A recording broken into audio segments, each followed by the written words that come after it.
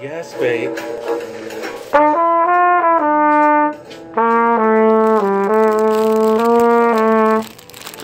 wife is like, okay, I'm recording. Like, okay. Oh, sorry. Oh, I'm glad I ain't, I ain't got no clothes on,